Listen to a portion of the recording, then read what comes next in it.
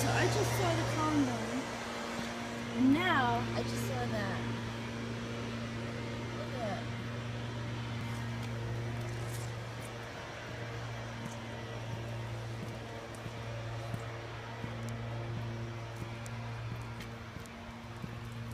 Holy shit. That sums it up, Mr. and Mrs. Bolls. Great work directoring.